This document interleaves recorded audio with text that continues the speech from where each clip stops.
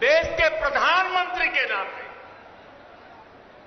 मुझे एक, फिर से एक बार ये सौभाग्य मिला है कि मैं राजा महेंद्र प्रताप जी जैसे विजनरी और महान स्वातंत्र सेनानी के नाम पर बन रही यूनिवर्सिटी का शिलान्यास कर रहा मेरे जीवन का एक बड़ा सौभाग्य। है और ऐसे पवित्र अवसर पर आप इतनी बड़ी संख्या में आशीर्वाद देने आए। जनता जनार्दन के दर्शन करना, ये भी शक्तिदायक होता है। साथियों, राजा महेंद्र प्रताप सिंह जी सिर्फ़ भारत की आज़ादी के लिए ही नहीं लड़े। उन्होंने भारत के भविष्य के निर्माण की नींव में भी सक्रिय योगदान दिया था।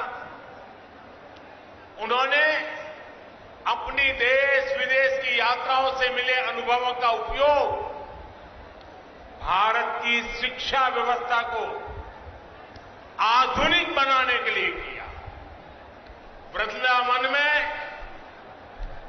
आधुनिक टेक्निकल कॉलेज उन्होंने अपने संसाधनों से अपनी पैतृक संपत्ति को दान करके बनवाया अलीगढ़ मुस्लिम यूनिवर्सिटी के लिए भी बड़ी ज़मीन राजा महेंद्र प्रताप सिंह जी ने ही दी थी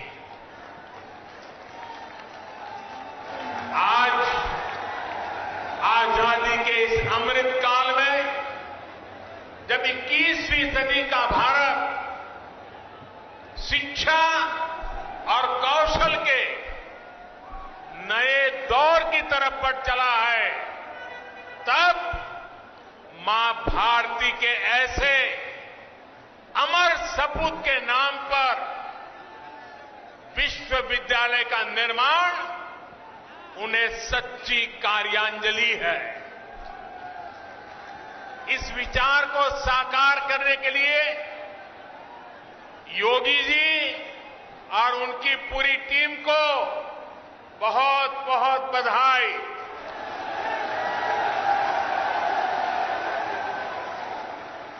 साथियों, ये विश्वविद्यालय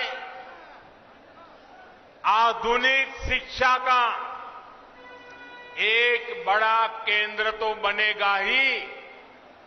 साथ ही देश में डिफेंस से जुड़ी पढ़ाई, डिफेंस मैन्युफैक्चरिंग से जुड़ी टेक्नोलॉजी और मैन पावर बनाने वाला सेंटर भी बनेगा। नई राष्ट्रीय शिक्षा नीति में जिस तरह शिक्षा, कौशल और स्थानीय भाषा में पढ़ाई इस पर बल दिया गया है, उससे इस विश्वविद्यालय में पढ़ने वाले छात्र छात्राओं को बहुत लाभ होगा। अपनी सैन्य ताकत को मज़बूत करने के लिए आत्मनिर्भरता की तरफ़ बढ़ने भारत के प्रयासों को इस विश्वविद्यालय में होने वाली पढ़ाई नई गति देगी। आज देश ही नहीं, दुनिया भी देख रही है। कि आधुनिक ग्रेनेड और राइफल से लेकर लड़ाकू विमान, आधुनिक ड्रोन, युद्धपोत, ये सब भारत में ही निर्मित करने का अभियान चल रहा है। भारत दुनिया के एक बड़े डिफेंस इंपोर्टर की छवि से बाहर निकलकर, वरना हमारी छवि यही है।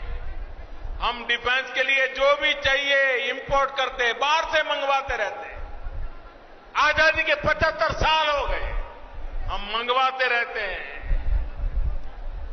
इस छवि से बाहर निकलकर दुनिया के एक अहम डिफेंस एक्सपोर्टर की नई पहचान बनाने के संकल्प के साथ आगे बढ़ रहे हैं। भारत की इस बदलती पहचान का एक बहुत बड़ा केंद्र, ये हमारा उत्तर प्रदेश बनने वाला है। और उत्तर प्रदेश के सांसद के नाते मुझे इस बात का विशेष गर्व है। साथियों, थोड़ी देर पहले डिफेंस कॉरिडोर के अलीगढ़ नॉर्थ की प्रगति का मैंने अवलोकन किया। अलीगढ़ में ही डिफेंस मैन्युफैक्चरिंग से जुड़ी डेढ़ दर्जन से अधिक कंपनियाँ सैकड़ों करोड़ रुपए के निवेश से हज़ारों नए रोज़गार यहाँ बनाने वाली है। अलीगढ़ नोड में छोटे हथियार, आयुध, drone, aerospace, metal components anti drone system defence packaging ऐसे उत्पाद बन सके, इसके लिए नए उद्योग लगाए जा रहे हैं। ये बदलाव अलीगढ़ और आसपास के क्षेत्र को एक नई पहचान देगा। साथियों, अभी तक लोग अपने घर की या अपने दुकान की सुरक्षा के लिए अलीगढ़ के भरोसे रहते थे। पता है ना? क्योंकि अलीगढ़ का ताला अगर लगा होता था तो लोग निश्चिंत हो जाते थे।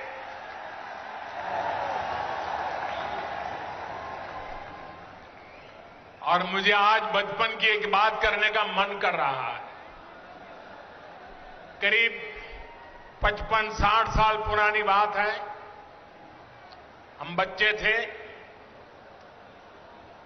तो अलीगढ़ से ये ताले के जो सेल्समैन होते थे, एक मुस्लिम मेहरबान थे, वो हर तीन महीने हमारे गाँव आते थे। अभी भी मुझे याद है वो काली जैकेट पहनते थे।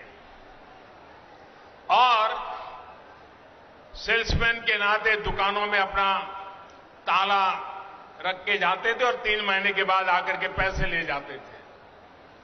गाँव के अगल बगल के गाँवों में भी व्यापारियों के पास जाते थे, उनको भी ताले देते थे।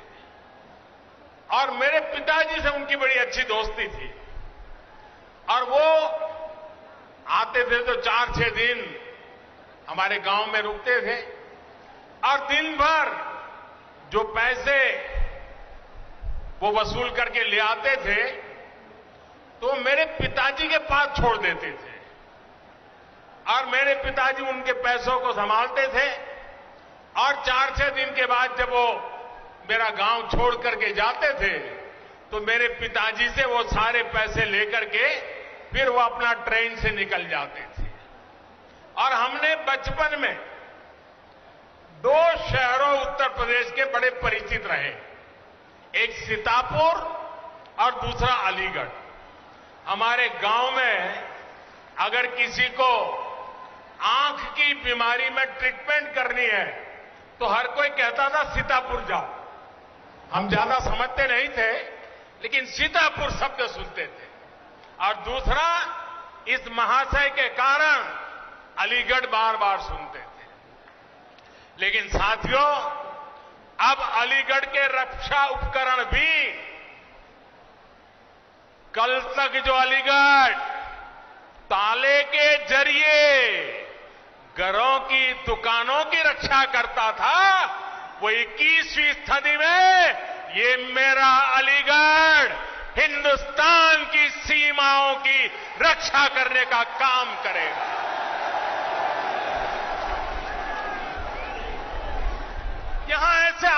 बनेंगे। वन डिस्ट्रिक्ट, वन प्रोडक्ट योजना के तहत यूपी सरकार ने अलीगढ़ के तालों और हार्डवेयर को एक नई पहचान दिलाने का काम किया है। इससे युवाओं के लिए, एमएसएमईज के लिए नए तय, अवसर तैयार हो रहे हैं। अब डिफेंस इंडस्ट्री के ज़रिए भी यहाँ के मौजूदा उद्यमियों को एमएसएमईज को विशेष लाभ होगा। और नए एमएसएमईज के लिए प्रोत्साहन भी प्राप्त होगा। जो छोटे उद्यमी हैं, उनके लिए भी डिफेंस कॉरिडोर का अलीगढ़ नोड नए मौके बनाएगा। भाई और बहनों, डिफेंस कॉरिडोर के लखनऊ नोड में दुनिया की सबसे बेहतरीन मिसाइल में से एक ब्रह्मोस का निर्माण भी प्रस्तावित है। इसके लिए अगले कुछ सालों में 9000 करोड़ रुपए निवेश किए जा रहे हैं। झांसी नोड में एक और मिसाइल मैन्युफैक्चरिंग से जुड़ी बहुत बड़ी महत्वपूर्ण यूनिट लगने का प्रस्ताव है। यूपी डिफेंस कॉरिडोर, ऐसे ही बड़े निवेश और रोज़गार के बहुत बड़े अवसरों को लेकर के आ रहा है। साथियों, आज उत्तर प्रदेश, देश और दुनिया के हर छोटे बड़े निवेशक के लिए बहुत आकर्षक स्थान बनता जा रहा है। ये तब होता है जब निवेश के लिए ज़रूरी माहौल बनता है, ज़रूरी सुविधाएँ मिलती है। आज उत्तर प्रदेश डबल इंजन सरकार के डबल लाभ का बहुत बड़ा उदाहरण है। योगी जी और उनकी पूरी टीम ने सबका साथ, सबका विकास सबका विश्वास के मंत्र पर चलते हुए उत्तर प्रदेश को नई भूमिका के लिए तैयार किया है। अब सबके प्रयास से इसे और आगे भी बढ़ाना है। समाज में विकास के अवसरों से जिनको दूर रखा गया ऐसे हर समाज को शिक्षा और सरकारी नौकरियों में अवसर दिए जा रहे हैं। आज उत्तर प्रदेश की चर्चा, बड़े इंफ्रास्ट्रक्चर प्रोजेक्ट्स और बड़े फैसलों के लिए होती है। पश्चिमी उत्तर प्रदेश तो इसका एक बहुत बड़ा लाभार्थी है। ग्रेटर नोएडा में इंटीग्रेटेड इंडस्ट्रियल टाउनशिप का निर्माण multi modal logistics hub, Jewar international airport, Delhi Meerut regional rapid transit system, metro connectivity, आधुनिक हाईवे और एक्सप्रेसवे ऐसे अनेक काम आज पश्चिमी उत्तर प्रदेश में हो रहे हैं। यूपी में चल रहे ये हज़ारों करोड़ रुपए के प्रोजेक्ट आने वाले वर्षों में भारत की प्रगति का बड़ा आधार बनेंगे। भाई और बहनों, मुझे आज ये देखकर बहुत खुशी होती है कि जिस यूपी को देश के विकास में एक रुकावट के रूप में देखा जाता था, वही यूपी आज देश के बड़े अभियानों का नेतृत्व कर रहा है।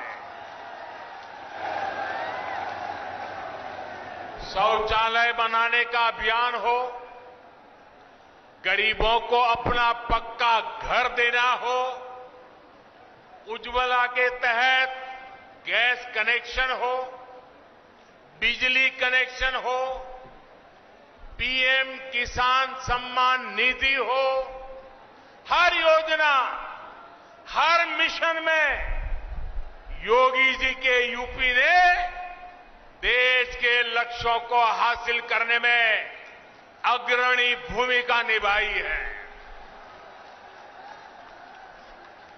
वरना मुझे तो याद है, वो दिन मैं भूल नहीं सकता हूँ। जब 2017 से पहले गरीबों की हर योजना में यहाँ रोड़े अटकाए जाते थे एक एक योजना लागू करने के लिए दर्जनों बार केंद्र की तरफ़ से चिट्ठी लिखी जाती थी। लेकिन यहाँ उस गति से काम नहीं होता था। ये मैं 2017 के पहले की बात कर रहा हूँ। जैसे होना चाहिए था, वैसा नहीं होता था।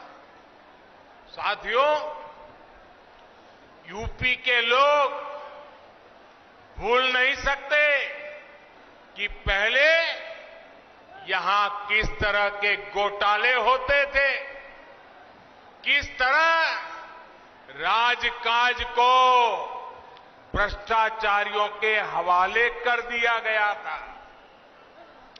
आज योगी जी की सरकार पूरी ईमानदारी से यूपी के विकास में जुटी हुई है।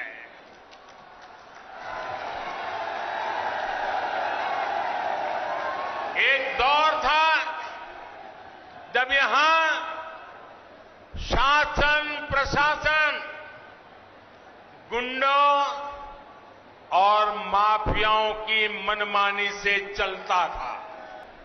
आज़ादी के इस अमृत काल में, ग्रामीण अर्थव्यवस्था में भी तेज़ी से बदलाव हो रहे हैं।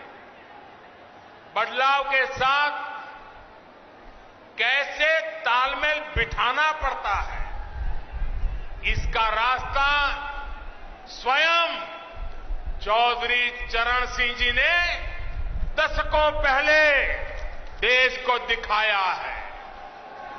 जो रास्ता चौधरी साहब ने दिखाया, उनसे देश के खेती मजदूरों और छोटे किसानों को कितना लाभ हुआ, ये हम सभी जानते हैं। आज की अनेक पीढ़ियाँ उन सुधारों के कारण एक गरिमामय जीवन जी पा रही है। देश के जिन छोटे किसानों की चिंता चौधरी साहब को थी, उनके साथ सरकार एक साथी की तरह खड़ी रहे, ये बहुत ज़रूरी है।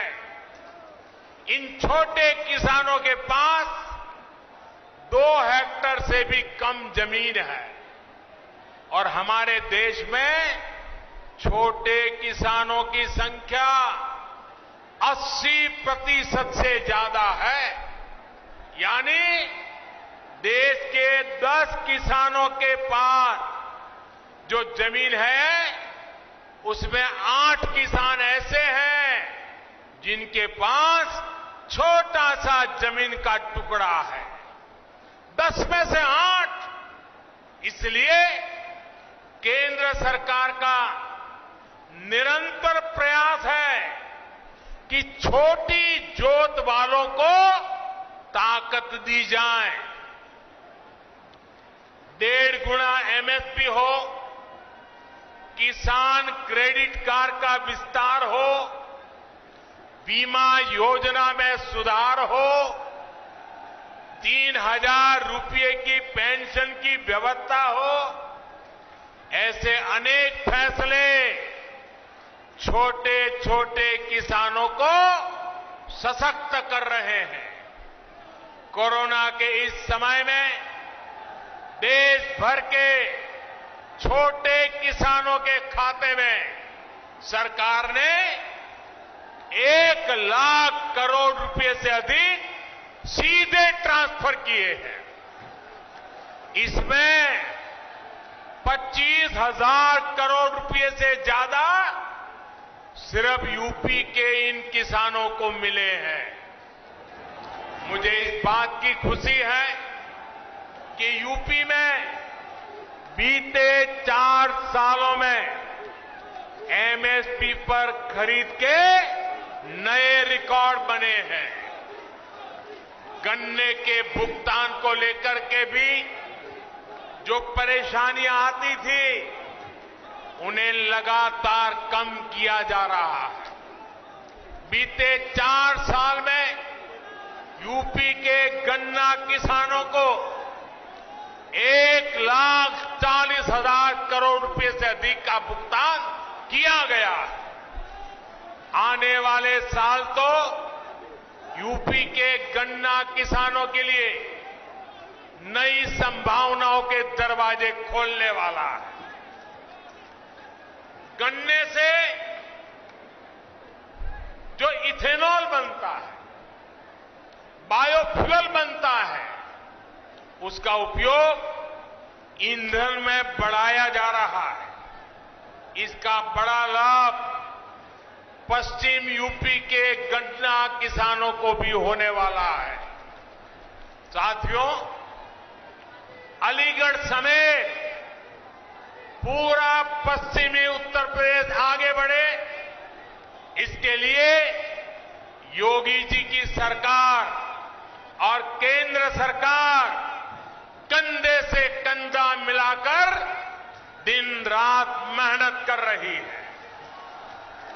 हमें मिलकर इस क्षेत्र को और समृद्ध करना है।